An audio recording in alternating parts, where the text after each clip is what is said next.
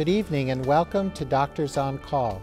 I'm Dr. Peter Nalin, professor and head of the Department of Family Medicine and Biobehavioral Health and Associate Dean for Rural Medicine at the University of Minnesota Medical School Duluth campus. I'm your host for our program tonight on lower extremity, foot, knee, and hip problems. The success of this program is very dependent on you, the viewer, so please call in your questions or email them to ask at wdse.org. The telephone numbers can be found at the bottom of your screen. Our panelists this evening include Dr. Sandy Stover, a family medicine physician and faculty member in the Department of Family Medicine and Biobehavioral Health at the Medical School Duluth campus. Dr. Patrick Hall, an orthopedic surgeon with Orthopedic Associates of Duluth. And Dr. E.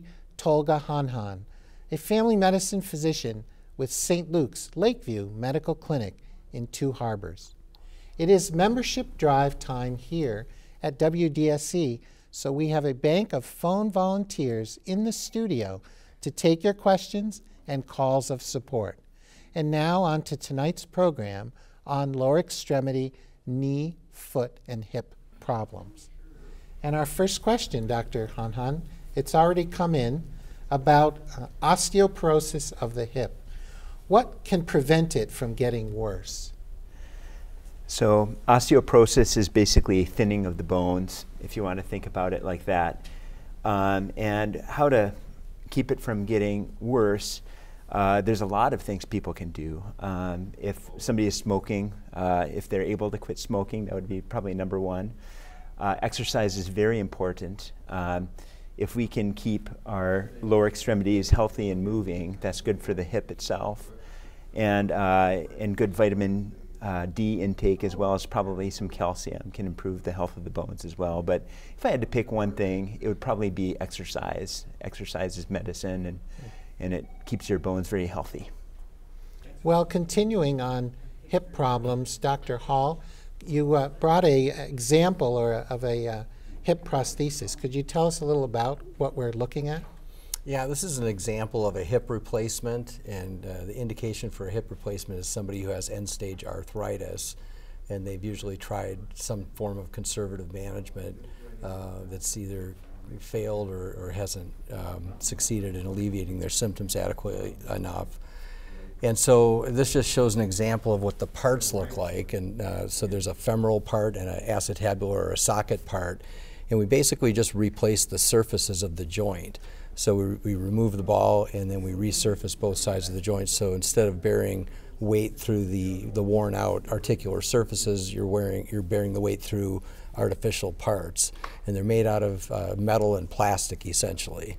It's a little more complicated than that, some of the metal alloys and things, but that's essentially what the bearing surfaces typically are made out of. Could you um, point out the parts that are in the leg and the parts that are in the hip? Sure. So if we're looking at this, we're going to kind of turn this so we can see it.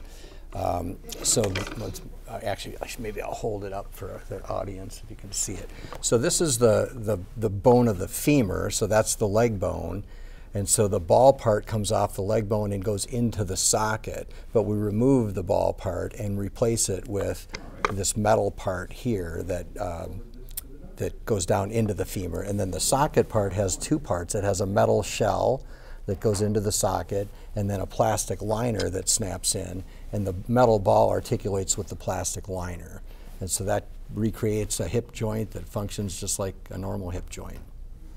Well, I imagine we'll get additional questions about the hip. The next question is for Dr. Stover. A caller wants to know after many years of plantar's warts or calluses, uh, wondering if there's some effective or magic way of, of resolving it. Well, that's a good question because that's one of the more common things to cause pain in the foot. And if you have pain in the foot, it's hard to walk normally, which can cause pain in the knee or the hip as well. Uh, the, the issue is kind of two-sided. So trying to prevent calluses from forming uh, can mean, mean that it's, it's important to pay attention to the shoes themselves. Is there anything rubbing on there? Is a weight-bearing bone that's lost some padding from natural aging? Maybe a little more padding in the shoe could be helpful. They're actually all the way up to the special orthotic shoes that can help accommodate to different changes in our feet as we grow, as we age. Uh, the warts are a little bit different in that they're actually something that's caused by a virus that will get right in that kind of, of upper, upper layer of the skin in that, in that thicker uh, normal callousing area of the skin. And if you do nothing about a wart, it eventually will resolve on its own as the immune system finds it, and like all, all good immune systems uh, can get the virus taken care of. But it can take a while. It can take several years sometimes, and in that process, the, the body will callus around the wart, and it's like walking on a stone in your shoe. It doesn't feel very good. So you can shave off either calluses or warts with something like there's a brand name called the PedEgg or some very fine shaving opportunities or some pumice stone kind of a thing. But the best way to remove it is actually to, to kind of uh, uh, you can use a little bit of either some a very mild acid that's that like compound W, which is a brand name for something over the counter, um, or you can come see a physician who can do a little bit more deeper um, uh, uh, activation of the wart so that the body recognizes and helps it resolve on its own. So long answer short, good shoes or paying attention to blisters before they become problems, um, paying attention to, to, weight bearing, and then uh, checking in with uh, your family physician just to get an idea about specific uh, issues in your own feet. Thank you. Uh, Dr. Hanhan, can you tell us a bit about the early evaluation of an ankle sprain? Uh, sure. Uh, we see a lot of ankle sprains are very common. Uh, most commonly, uh, people kind of will roll their foot, you know, uh, basketball games and things like that, where people jump up. It's a, it's a very common injury. And uh, people come in with this kind of swollen ankle, and it's very painful, and they may be limping. Um, and our job as uh, physi- physicians is to find out is it truly a sprain or do we suspect a fracture. Uh, they're they're managed differently. A sprain is, I think, a big deal. Actually, it can cause uh, chronic ankle problems when you know years down the road. So those also have to be managed, but they are managed a little bit differently. Thank you, Dr. Hall. This question seems to be a bit about uh, range of motion of both legs around the hips a, a caller is concerned that sometimes the left leg can't quite meet over to the right leg, somewhat the way, it's, as the caller put it, magnets might repel each other. Is there something about the um, range of motion of the left leg coming over to the right that might imply a hip problem? Yeah, it could. You know, if if somebody has had normal range of motion and their range of motion is decreasing for some reason, it could indicate that there's some arthritis in the hip. Um, sometimes with arthritis of the hip, one of the first signs is decreased range of motion. So one of the things that people tend to uh, to realize first is that they have a hard time putting shoes and socks on because they can't flex their hip and rotate their hip enough to get their shoes and socks on, and that's kind of an early sign uh, there are other reasons too. Sometimes people have hip dysplasia and maybe they've got an abnormal hip joint that just doesn't move as well as the other one. Um, they, it can also happen from knee problems. So when people start to wear out their knees, oftentimes they wear out their knees asymmetrical. So when you look at somebody from the front, the normal leg alignment is to be a little bit knock-kneed. And so that configuration centers the hip and the knee and the ankle. But when people wear their knees out, oftentimes they wear out the inside first because that's where most of the weight gets transferred. So when they wear that the knees out in the uh, on the medial part, they start to become a little bit more bow-legged. And when they do, they notice that they can't bring their knees together as well. Okay. So it could be could be a hip, a knee, or even a foot problem. Thank you for that. Dr. Stover, a, a caller asks about post polio exercises, especially with lower body problems, uh, even to the point of not being able to uh, walk. What exercises could help the legs and the lower body? That's a, that's a very good question, and it's a little complicated because the polio process, when, when that virus invades the body, it causes some muscle damage. And usually it tends to hit younger people, but because young muscles are, are overall in good shape, the body can compensate for years. There comes a time, though, as we all age, that muscles just gradually do become a little less vibrant. And in that process, the old damage from the polio can become more apparent again. So it's difficult to exercise tissue that's become damaged, but it is important to consider how to balance out the, the muscles that are there so that you don't overtire or, or like uh, Dr. Hall was talking about, when there's an imbalance issue in the, in the feet or the knees or the hips, it, it transmits other places. My best suggestion for post polio syndrome is to work with um, some of our wonderful physical medicine rehabilitation people or physical therapists to kind of help in supporting the areas that aren't working quite as well, and then uh, working to support and exercise the parts that are still um, a vibrant muscle. Yep. Dr. Hanhan, a caller asks about fallen arch of the foot. Uh, what is it and uh, how might you treat it?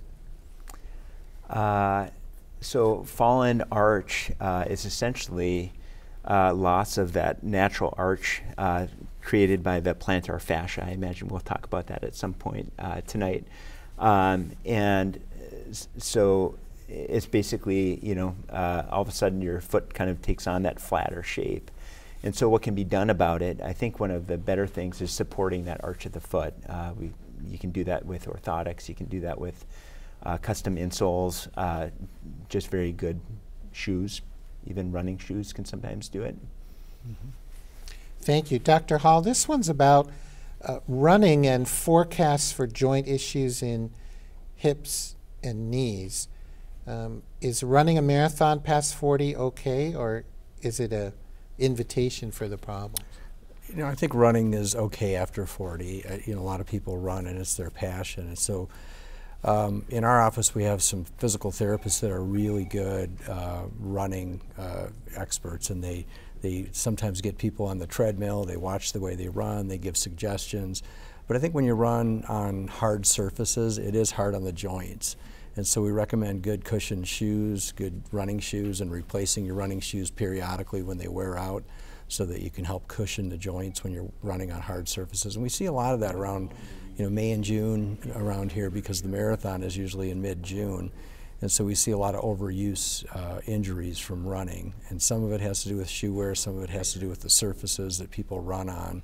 Um, but I think it's okay to continue to run and, and, and be active.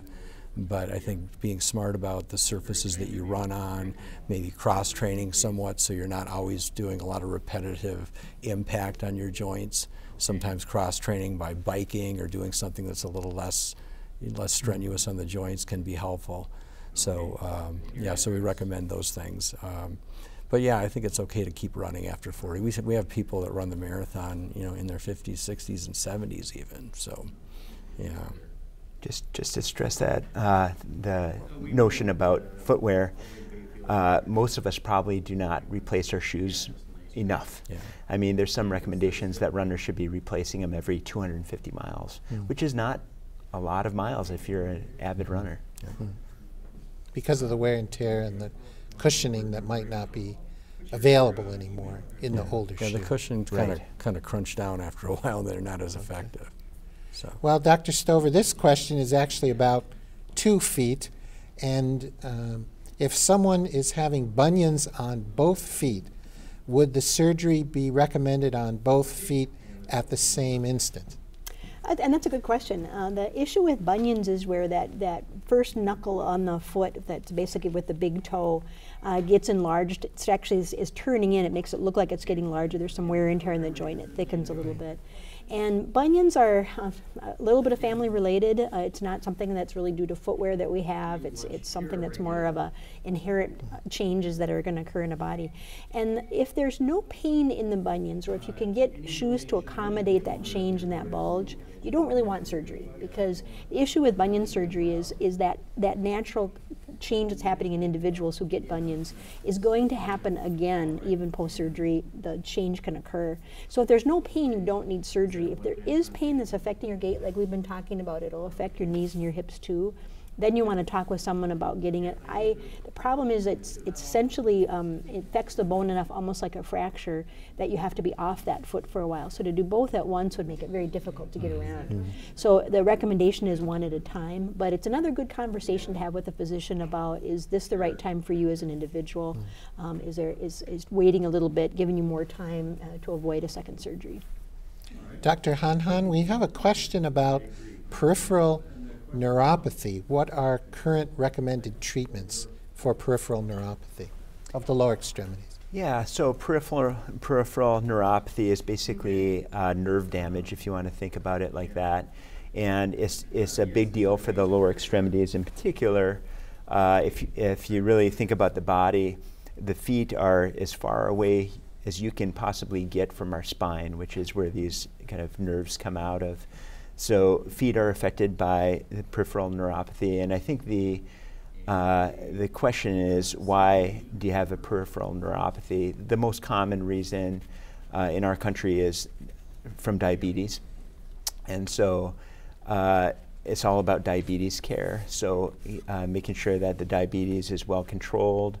Uh, there are medications that can um, uh, kind of, if the neuropathy is painful, which is the case for some individuals, there's some medications that can be used for that. Uh, but uh, it's basically supportive. Um, one of the dangers of peripheral neuropathy is you may not be aware of some foot damage that's actually happening. For example, you could be walking with a rock in your shoe and not even know it. So we tell our folks with peripheral neuropathy to make sure they're looking at their feet a on a regular basis. Dr. Hall, could you help our viewers understand the difference between knee pain that's in front of the kneecap and knee pain that might be behind the kneecap and might, might be explaining those? Yeah, I mean, sometimes it's hard to distinguish where the pain is coming from when people have anterior knee pain. Uh, a lot of times, uh, knee problems come from the patellofemoral joint or the extensor mechanism. So uh, it can be overuse and stressing the extensor mechanism of the knee, and you can get some quad tendonitis or some patellar tendonitis. And those usually present with anterior knee pain that's palpable. When people have patellofemoral arthritis, that means arthritis in the joint between the kneecap and the femur. Uh, that also presents with anterior knee pain uh, and crepitation if the joint's uh, starting to wear out. Uh, a lot of times those conditions are aggravated by going up and down stairs or squatting down to pick something up off the floor uh, because it accentuates your use of the extensor mechanism of the knee. So people who uh, have those kinds of problems can usually walk on level ground pretty easily, but when they have to walk up hills or stairs, that's when they notice it the most. And that's because they, they really use that extensor part of their knee more when they, when they do those activities. And so uh, it's probably important to, to come and have it evaluated, start with some x-rays, and then uh, maybe even an MRI if, if there's some question about what's causing it. For our viewers, you mentioned crepitus. Could you indicate on your knee model where that crepitus is uh, coming yeah, from? Yeah, this is a not a, a, a, knee model. This is a knee model with a knee replacement in it. But um, if you look at this knee model, this shows the patella. And what's really not shown here is the muscles, but you can see the, the kneecap connects down to the tibia through what's called the patellar tendon. And so the crepitation happens between the patella and the femur when the knee is flexed and extended. And really what you're, what you're hearing is that crunching and, and grinding sensation that you hear when two uneven joint surfaces rub on one another. And so that indicates that there's some wear and tear of the patellofemoral joint. Thank you. Dr. Stover, a caller wants to know uh, the caller has Raynaud's, and while sleeping, what could be done to not wake up with cold, tingling hands? And Raynaud's is actually something that's that's not happening because of temperature outside or inside, although it can be triggered by cold temperature, but it's a vascular problem. Some people will wear uh, wool uh, kind of gloves on at night to help uh, retain heat in the hands a little bit better. Um, that, that's probably my favorite way to do it, but overall, that with Raynaud's, you may want to check with your doctor just to make sure there's no other process going on in the body that could be leading to that. Dr. Hanhan, a caller asks, uh, why might legs be aching while walking? Uh, there's so many reasons. uh, some questions I'd have in, in mind uh, would be what part of the leg, uh, you know, um, probably all of us have had leg pain for all kinds of different reasons. Uh, I don't run very often, but when I do, I get some leg aching the next day. Uh, just because I'm not used to it, but yeah, I, there's the leg is pretty complex. So sounds like worth an ex examination and history and physical. I think so. okay, thank you. And uh, very briefly, Dr. Stover, are there insert cushions for uh, alternatives to replacing the running shoes? Oh, that's a good question. I was actually thinking about while we were talking. Um, ideally, the, the shoes are built with a cushion that's in the rubbery part as well as on the insert part. So the shoes are good running shoes are complex. But I have replaced using gel pads and gotten more weight, more wear out of a shoe. Well, very well. As mentioned at the beginning of our program, it is membership week here at WDSE. Doctors on Call is such a special and unique local show, but requires your support to make it happen each week. We'll be back after learning about why your donations to WDSE are so important.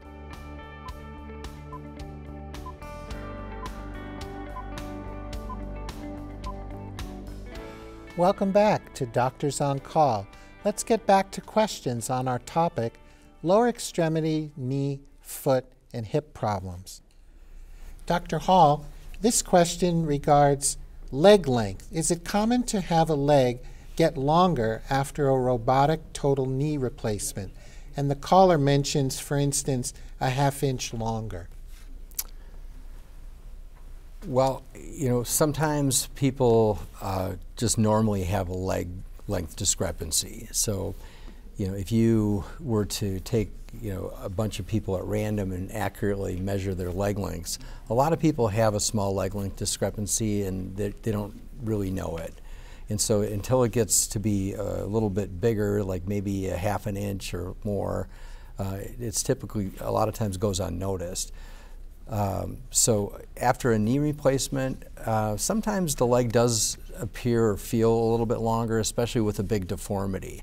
So you can imagine if somebody has a big bow-legged deformity and then you correct that deformity and straighten the knee out, it does add length. And so somebody who's been used to walking on a shorter leg for a long period of time and then has that deformity corrected is going to feel like that leg is longer because they're used to walking on it feeling short. Mm -hmm. And so it, it, it, may be something like that. It's really not that common to, to end up with a big leg length discrepancy from a knee replacement because the, most of the knee replacement systems are designed to put the same amount of bone or the, the same amount of space back with the prosthesis that was removed uh, from the bone during the knee replacement.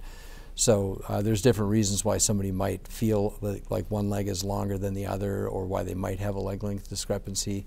But I think with a knee replacement, it's, it's unusual to end up with a large leg length discrepancy. Thank you. Dr. Stover, this question is about what scan could be done next. A caller's had two hips replaced and a history of bone cancer in the back. Hips are now starting to feel painful, and the caller wants to know what kind of scan could be done next. That's a good question because the metal that can be in replacements can be distorting in things like a CT scan. Depending on the kind of metal, uh, there may still be an opportunity to do something like an MRI. It depends on the kind of metal. Um, but I, something else that's that's very interesting to use in, in orthopedic care is an ultrasound for soft tissue issues. It won't help with the bones, but you can look to see if there's been a tendon uh, that's become inflamed or looking a little bit more at, at areas of swelling and what they're coming from. Um, there's there are some other kinds of scans like PET scans that look at uh, for cancer things like that. So that's um, it kind of depends again, again on what part you're really interested in looking at, what part is hurting. Dr. Hanhan, a caller asks about a deep vein issue contributing to lymphedema and what activities could be avoided if one has lymphedema, perhaps to make it better. Yeah, so lymphedema is a term where lymph tissue, which is part of our immune system, builds up in one extremity. And it could happen in really any of your extremities. And uh, it's very challenging to deal with. There's no very easy solution for lymphedema. There's uh, a lot of products that are made that can kind of squeeze the extremity and, uh, and, and try to push some of that fluid back and out of the extremity just for comfort. And so, what should be avoided? Uh, probably uh, anything that hurts. Um, uh, but in general, we should try to keep our, our uh, extremities moving. The more our legs move, for example, the more our uh, muscles will pump that tissue back. Uh, so, one thing that should probably be avoided is just sitting still for long periods of time. Dr. Hall, this question is about the knee sounding like cellophane after the knee replacement. It's not painful, but the patient hears it. Yeah, that, that can happen. Um, it's usually caused by some uh, synovial tissue or scar tissue buildup around the, the patellar component. It doesn't typically happen right away after a knee replacement, but happens maybe a, six months to a year later sometimes. Uh, and it usually, it can sometimes be a really audible sound, you know, kind of a crunching sound. Uh, it, it, there's a name for it. It's called patellar clunk syndrome sometimes. And oftentimes the solution to that problem is to do a knee arthroscopy and go in and trim out the, the, the tissue that builds up around the patellar component. Uh, and that happens sometimes. I wouldn't say it's real frequent, but maybe you know one or two percent of the time. And it almost always responds to a knee arthroscopy to trim that tissue out. Uh, and I've, I've, had patients that have had that uh, even twice. You know, maybe you know maybe uh, early on and then later on in life, even with some of the scar tissue that builds up. And uh, the knee arthroscopy almost always solves that problem. Dr. Stover, could there be a relationship between back surgery and subsequent uh, burning on the top of a left foot or itching on the bottom of a right foot? Uh, and the, when there's issues related to the back that require surgery, it's often to release uh, pressure that's kind of come across one of the nerves that leaves the spinal, co- spinal cord and then feeds the leg muscles and the sensory system in the legs. And so um, the back surgery itself doesn't always completely resolve. It's, main, it's intended to help uh, improve function, but sometimes there's still some inflammation to the nerves that feed those areas. And the other sensations that come with our nerves are things like burning, itching, uh, sometimes a feeling of cold prickliness uh, or a, a, light tickly sort of sensation. And so those kinds of sensations are best dealt with by using a positive alternative sensation. Um, sometimes creams can do that or a, a, elect- um, a slight electrical stimulation. Mm. Uh, so that, again, that's something that can be dealt with if it's bothersome. Some people find that it's present, but it doesn't really bother them. So there's an, a requirement that something be done as long as there's good muscle function and, and strength in the legs. Dr. Hanhan, uh, a patient has, uh, a caller has broken a bone in the foot back in August. In fairly good health, it's still hurting at times and getting swollen. What are you considering or what might be done? Uh, so a bone in the foot that has broken, and so uh, we're about four months out, and if it's still troublesome, uh, it's, it's worth you know uh, thinking about if the bone healed properly. Uh, that's kind of my biggest question. You know, feet are very important if you think about the stress that the feet kind of carry of our, our weight. Um, so that's worth a look. Uh, let's say, for the sake of argument, that it did heal properly, but the patient, uh, the person still ends up with some kind of tenderness and of some swelling from time to time. Uh, you know, uh, you can develop arthritis from broken bones uh, once they've healed, and uh, so and that can pass on to the joints right around the the break itself. Um, but it's probably worth getting it looked at to see if the bones are where they should be. Thank you. And Dr. Hall, this caller wants to know about why knees might be aching only at night. Um, yeah, that's a good question. Some people complain of aching at night. Uh, it can be from stress that, that happened during the day, and a lot of times during our day, we're not you know, paying attention to our knees because we're focused on the tasks that we're doing during the day. And sometimes they, when patients go to bed, they just feel it more at night. Um, so it could be it could be a result of the, the activity during the day. Um, so I'm not really sure how to answer that question other than to say that sometimes it's related to activity and uh, sometimes just people notice it more at night. And Dr. Stover, this question is uh, regarding advice after cortisone uh, injection. Um, a caller wants to ride the exercise bike, but is uncertain if she can. Um, what might be the recommendations around activity after cortisone shot? So cortisone is a steroid, so it's an anti-inflammatory. It's often uh, accompanied by a little bit of lidocaine, which is an anesthetic. And if those two are given together, the knee will often feel quite a bit better in that first 24 hours. I think my biggest recommendation to people, if there's been a cortisone shot, is not to overdo it in that mm -hmm. first day when you're when you've got a little bit of that anesthetic on board, and doing too much can then increase the reason that the inflammation is there in the first place. I think it's also um, helpful to think about what kind of exercise you're looking at, working with a, a, physical therapist or a physician to kind of design the right thing for the knee to strengthen the, the, the knee to support whatever the problem is going on in there.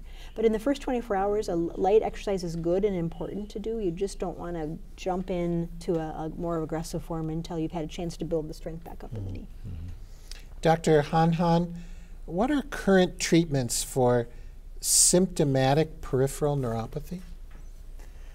Uh, so the neuropathy uh, question again. Uh, so there's a lot of various options, and there's various medicines. Uh, a lot of nerve agents are used. Um, one of the issues with nerve agents is uh, oftentimes they can make people kind of feel fatigued or run down. So those are somewhat limiting. So if some people can tolerate those medications, some people cannot. And then, as Dr. Stover suggested, there's some cre creams that people can use. Uh, and uh, there's a lot of options out there. I mean, a, a, lot of them have been tested, and some of them have not. That doesn't mean they don't work. Uh, so it's just worth experimenting uh, with all the different options. And uh, Dr. Stover, a few callers are asking about uh, inserts for their shoes and whom they might consult about fitting them well? I, and that's a good question. So um, there's kind of two sorts of inserts that we've talked about tonight. There are uh, kind of inserts that are custom made by an orthotist uh, that that uh, can be helpful for something like an arch support, or some people have heel issues related to tendonitis in the foot, uh, and that should be fitted by someone, a podiatrist or an orthotist who specializes in making inserts. You can buy commercial products that are more cushioning. So as opposed to supporting a structure, it's cushioning the pounding that we were talking about earlier that can put wear and tear on, on the joints that are further north. And so the gel pads that have been a nice technology, I've been around long enough to know before gel pads, we most, mostly had foam. They didn't hold up as well as the, as the gel pads do. So trying out gel pads that are commercially done can be helpful. There really isn't one place I'd go to get uh, specific advice unless you're doing the, the inserts to, to correct something or to support something that's changing in your foot. Mm. Um, I, hope, I, think that that's probably my best mm -hmm. suggestion. And Dr. Hall, regarding the knee, and we're familiar with abbreviations like ACL, for example, what is more commonly injured? The anterior or the posterior cruciate ligaments and why? Oh, so by far the anterior cruciate ligament. So uh, the ACL is a common injury in sports. It usually happens with a twisting hyperextension type injury. But the PCL is a much stronger ligament, and so it's harder to injure the PCL. It usually takes a higher energy injury. Oftentimes it's a motor vehicle accident where somebody hits the dashboard with the front of their knee or they fall really hard on the front of their knee. So it takes a lot more force to disrupt the PCL, and I bet you we see ACL, ACL injuries probably 10 times more frequently than PCL injuries.